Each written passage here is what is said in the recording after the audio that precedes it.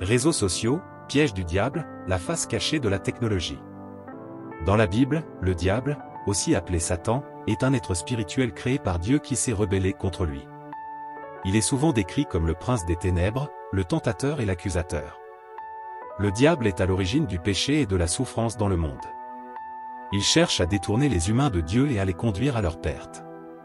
La Bible affirme que Jésus-Christ a vaincu le diable sur la croix et qu'il offre le salut à tous ceux qui croient en lui. Genèse 3. Le serpent est une image du diable qui tente Adam et Ève de désobéir à Dieu. Job 1 à 2. Le diable afflige Job de souffrance pour le tester et le faire douter de Dieu. Matthieu 4, 1 11. Le diable tente Jésus dans le désert après son baptême. Le diable continue d'agir dans le monde d'aujourd'hui, à travers la tentation, le mensonge et la violence. Il utilise de nombreux moyens pour influencer les humains, notamment la technologie, les médias et la culture populaire. Les chrétiens sont appelés à résister au diable et à vivre selon les valeurs de Dieu. Le diable peut être vu à l'œuvre dans la cybercriminalité, qui vole, escroque et exploite les gens. Le diable peut également être vu à l'œuvre dans la cyberintimidation, qui utilise la technologie pour harceler et blesser les autres. La dépendance à la technologie peut être vue comme une forme de servitude au diable, car elle éloigne les gens de Dieu et de leur véritable nature humaine. L'être humain est un être créé à l'image de Dieu et qui a le libre arbitre. Il est capable de choisir entre le bien et le mal, et il est donc responsable de ses actions. Le diable peut tenter l'être humain, mais il ne peut pas le forcer à pécher. Les deepfakes sont des vidéos manipulées qui peuvent être utilisées pour diffuser de fausses informations et de la désinformation. Elles peuvent être considérées comme un outil du diable, car elles sèment le mensonge et la discorde. Les réseaux sociaux peuvent être utilisés par le diable pour propager la tentation, la haine et la division. Ils peuvent également être utilisés pour manipuler les opinions et les comportements des gens.